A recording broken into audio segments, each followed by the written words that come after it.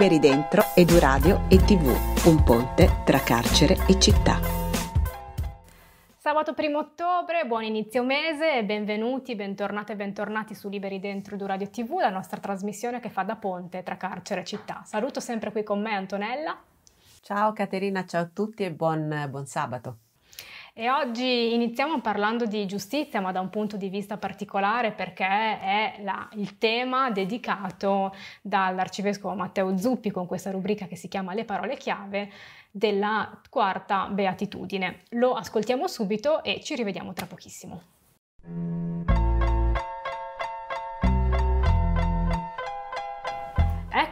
Siamo nella quarta puntata di Parole Chiave insieme all'Arcivescovo di Bologna Matteo Maria Zuppi. Grazie di essere qui. Buongiorno, eccoci, ben trovati tutti. E oggi commentiamo la quarta beatitudine, eh, beati quelli che hanno fame e sete di giustizia perché saranno saziati. Ma io a bruciapelo la prima domanda che ti faccio, eh, Matteo, è eh, chi è il giusto nella Bibbia? Beh, il giusto nella Bibbia è una figura molto curiosa, molto particolare, perché è, non coincide anzitutto con l'uomo di fede. È il giusto. Eh, partiamo, partiamo, da una delle, delle, delle, parabole più importanti e anche più note, eh, quello di avevo fame e mi hai dato da mangiare, avevo sete e mi hai dato da bere, eh, ero vestito, ero nudo e mi hai dato mi hai vestito, e saranno i giusti che eh, l'hanno dato, eccetera, eccetera, che saranno benedetti dal Padre. Quindi non quelli che hanno, hanno superato tutti gli esami di catechismo, eh, quelli che eh, hanno avuto una fede, eccetera, eccetera, i giusti. Quindi è indipendente dalla fede, no? L'importante è essere giusti, essere degli... Noi come diremmo? Diremmo, non so, degli uomini per bene, dei galantuomini, i nostri nonni avrebbero detto quello è un galantuomo, per dire un uomo serio, un uomo per bene, eh, un, non so, uno che, eh, che, che, che, difende gli altri, che vuol bene agli altri, no? Quindi eh, il giusto è uno che eh, difende la giustizia, la vive propria, con la propria vita, quindi non, è, non, fa lezioni ma la vive. Questo è un uomo giusto, ecco, che quindi non piega alla, il mondo al proprio interesse o, alla, o a, al proprio io, ma fa esattamente il contrario. Spesso, eh, speriamo anche che mm, si ispiri alla giustizia che Dio ci insegna che Dio ci insegna a essere giusti, lui è giusto, ci insegna a essere giusti. Peraltro, finisco, Gesù dice anche, guardate che se la vostra giustizia non supera quella degli scribi e dei farisei, non entrerete nel regno dei cieli. Che vuol dire? La, la giustizia degli scribi e dei farisei era quella eh, occhio per occhio, dente per dente. Bene, la giustizia è chiarissima. Tu mi hai staccato un occhio, io te ne stacco uno.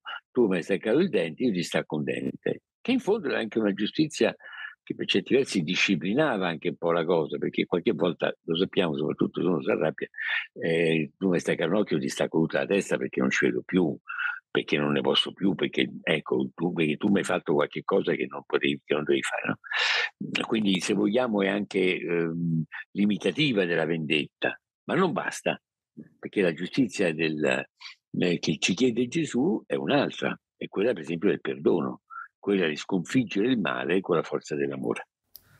Ecco, entrando nel senso allora anche letterale di questa espressione, fame e sete di giustizia, i due verbi indicano le, i bisogni principali dell'uomo, nutrirsi e, ass- e dissetarsi. Ma allora che cosa si intende con questa espressione così forte? Sì, eh, non è così un passatempo, eh, cercare la giustizia, averne fame e sete, cioè sentire la mancanza, quindi anche la ricer- ricercarla, no? È una condizione che Gesù, Gesù, che Gesù vuole darci l'idea di una condizione anche un po' fisica di coinvolgimento, che quasi non ne può fare a meno, no? tu non puoi fare a meno di muori se tu non hai, eh, se tu non mangi, se tu non bevi, no? Quindi sarebbe uno che non parla della giustizia, vabbè, come va va, no, no, come un passatempo, oppure come un hobby, come per esempio noi diremmo anche un po' come di filantropia, vabbè, io mi occupo un po' di, di, di, filantropia, faccio un po' di cose per, le, per, gli altri, quello che posso, ci riesco. Cioè. Fame e sete, cioè qualcosa che fa parte della mia vita, non, non ne posso fare a meno. No? Questo è quello a cui noi siamo chiamati e questo diventa una vera beatitudine, perché solo così saremo saziati.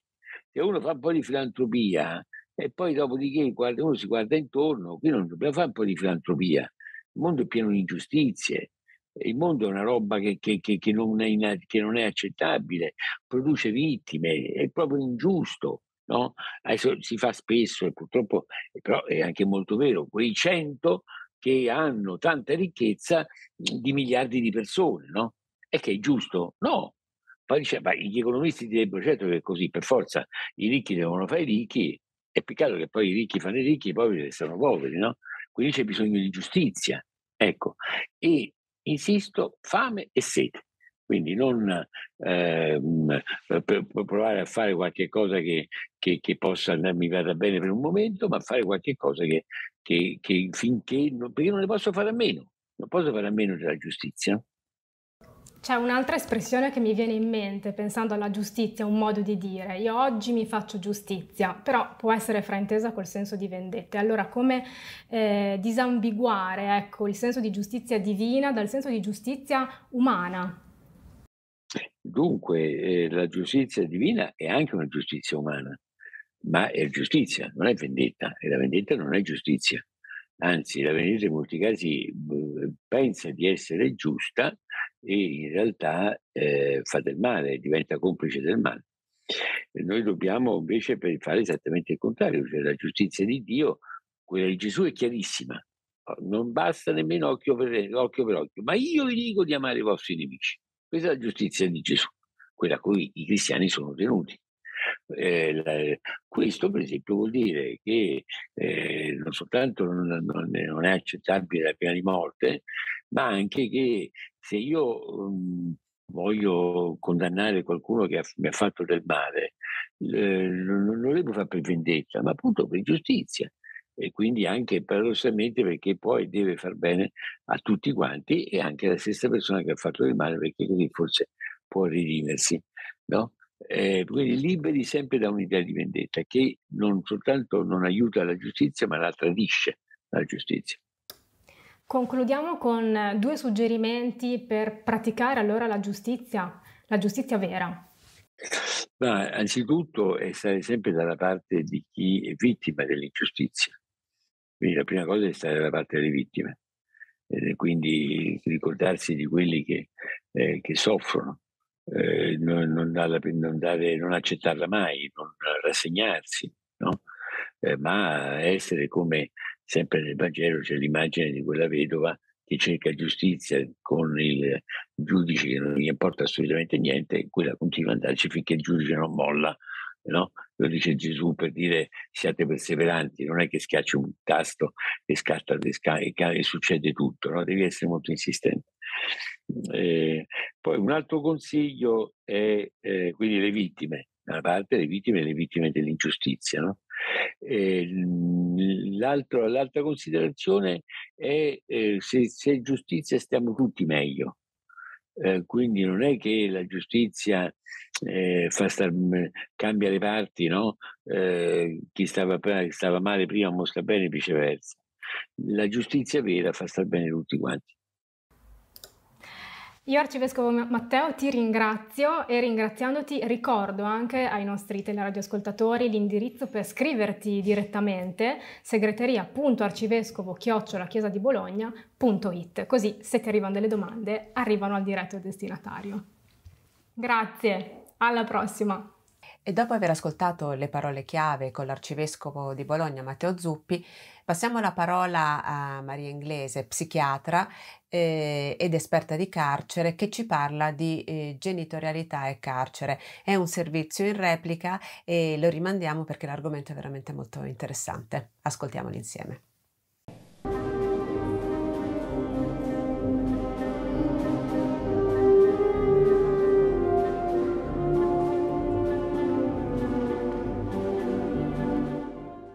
Allora, parlare del rapporto genitoriale in carcere eh, lo possiamo affrontare come argomento, secondo me, almeno in due modi.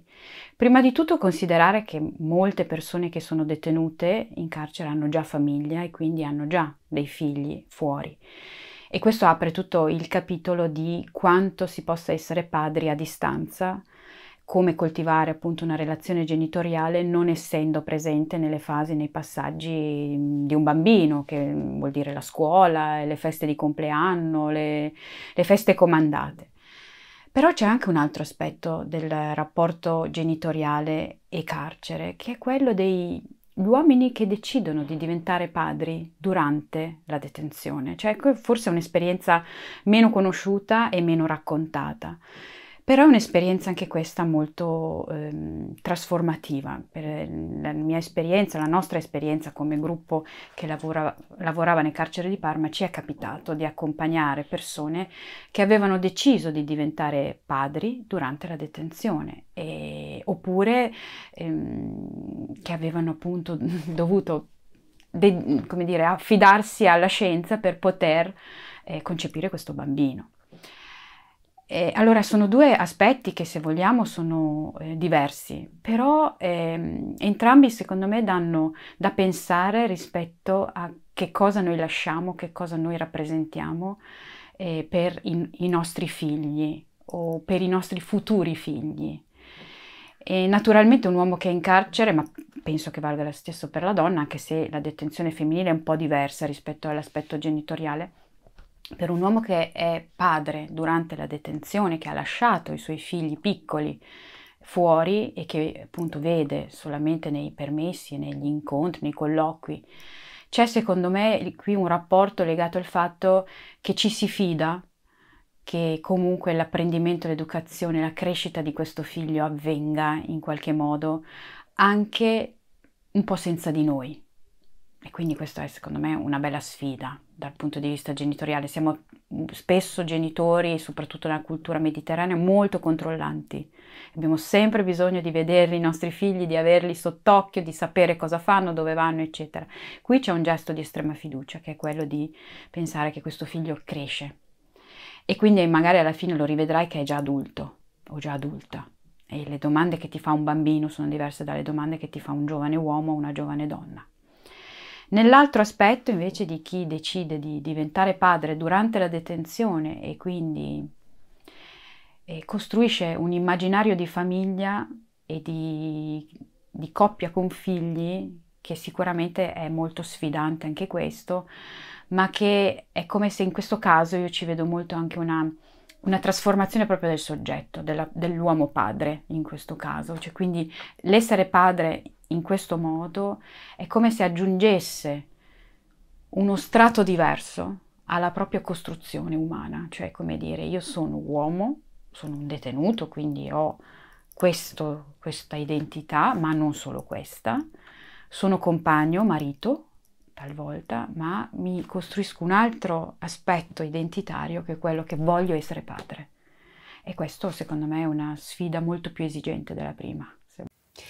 E dopo aver ascoltato Maria Inglese, eh, passiamo ad un servizio che abbiamo realizzato proprio durante l'evento Estate Dozza, che, questa, eh, che nel mese di, di, di, agosto ci ha visto un po' presenti eh, appunto al Rocco D'Amato.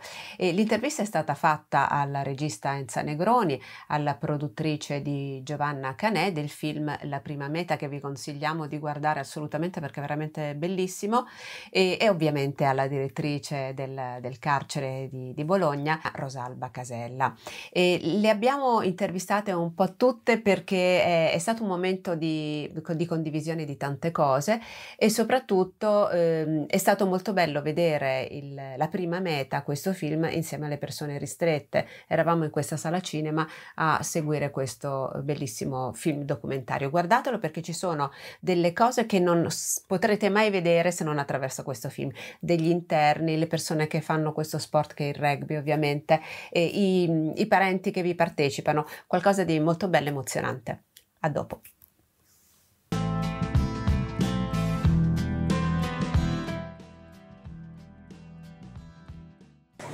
Siamo con Giovanna Canè, la produttrice del film La prima meta e della regista Enfa Negroni.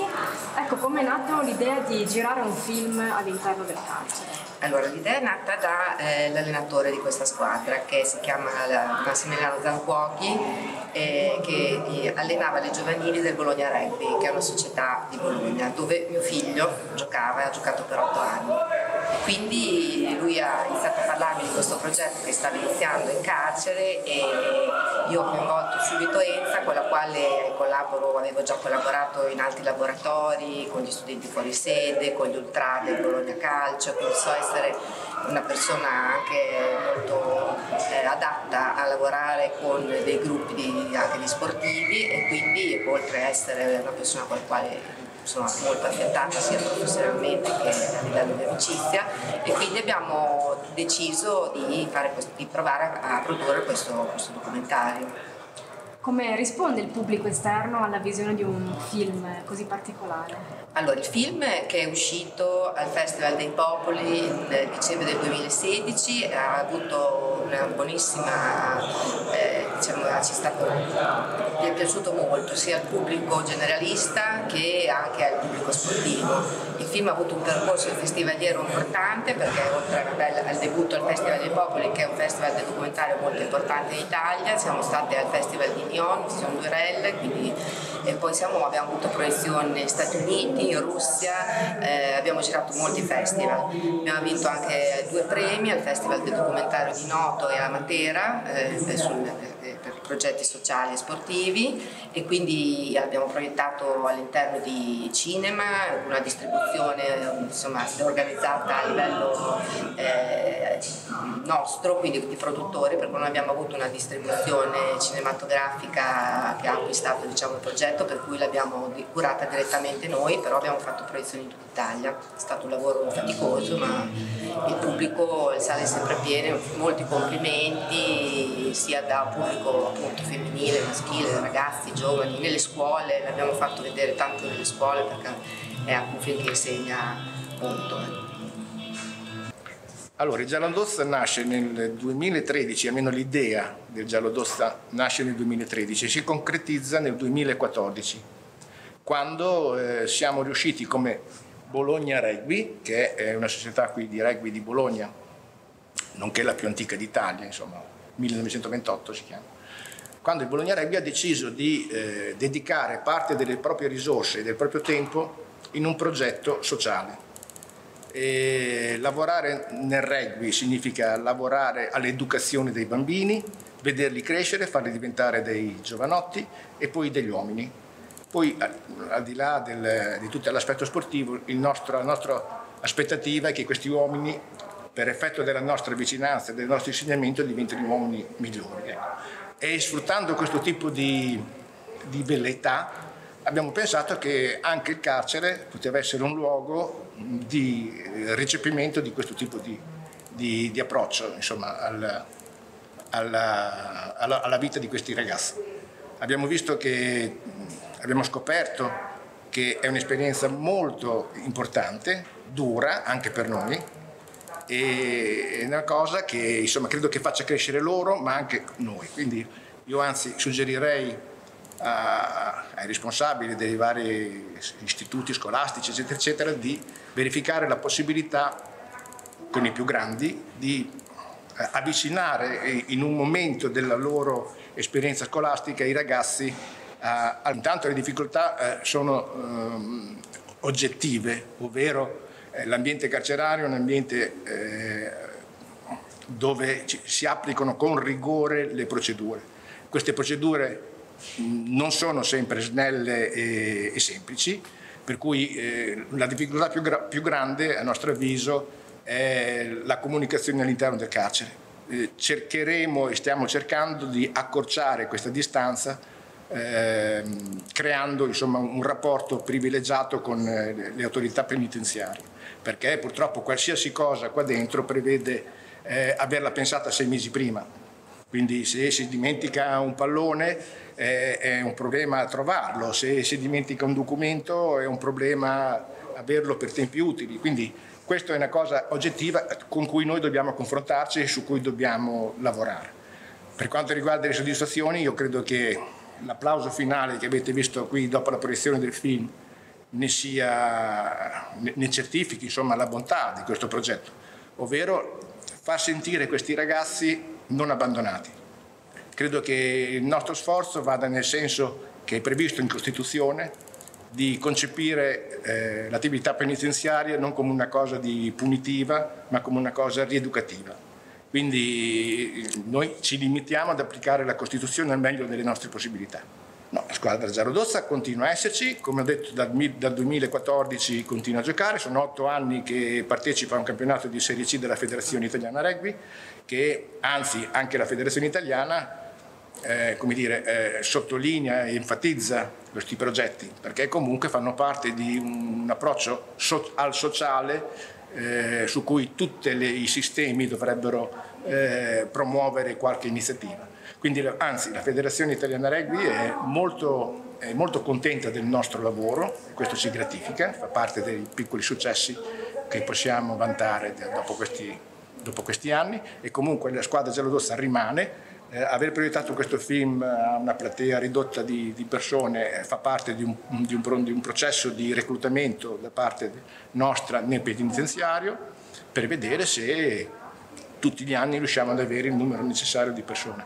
È difficile perché comunque c'è un, un turnover molto veloce, molto pesante. Eh, imparare a giocare a rugby a 20 anni non è come imparare a giocare a 6 anni e, e, molto spesso appena questi ragazzi sono in grado di tenere in mano un pallone, di capire dove stare in mezzo al campo, eh, vengono poi proiettati nei, nei percorsi, nelle dinamiche eh, giudiziarie che, su cui noi non abbiamo nessun tipo di... Sono tre allenamenti pomeridiani più uno dove si fa un'attività eh, formativa all'interno di una, di una sala eh, in quella circostanza l'allenatore piuttosto che un arbitro federale, piuttosto che un medico, arrivano e, e, e fanno quello, e espongono quello che è una parte importante del, dell'attività, che sono le, i regolamenti, eh, l'approccio agli infortuni, insomma le, queste cose. Quindi sono un'attività di quattro giorni settimanali più la partita sabato. In casa ovviamente. Sì, non... lo diciamo per chi ovviamente non conosce no, ovviamente, il carcere, eh. però bisogna precisare che le partite sono... Partecipiamo a un regolare campionato di Serie C federale, quindi tutte le squadre di Serie C eh, organizzate nel nostro girone vengono qui a giocare, e con la differenza che noi non andremo mai a casa loro, perché insomma eh, la cosa è, è così. Beh, l'estate d'Ozza è un grande evento per il carcere, chi vogliamo ringraziare soprattutto? Vogliamo ringraziare intanto il Progeschi che si è reso l'associazione del che si è resa disponibile ancora una volta a eh, realizzare questa iniziativa eh, a favore dei detenuti, un'iniziativa che si replica ormai da oltre dieci anni.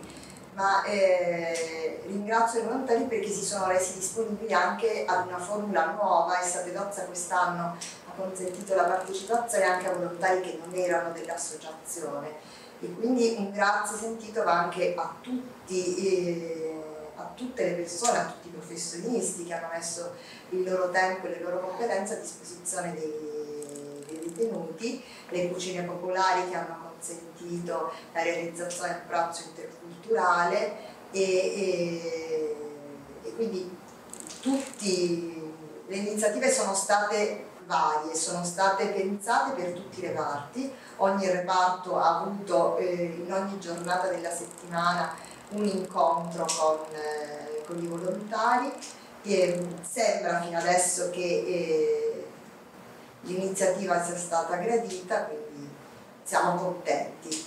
È stato un bel lavoro di squadra sia con i volontari ma anche con tutti gli operatori eh, delle diverse aree, quindi un grosso lavoro di collaborazione e di sinergia.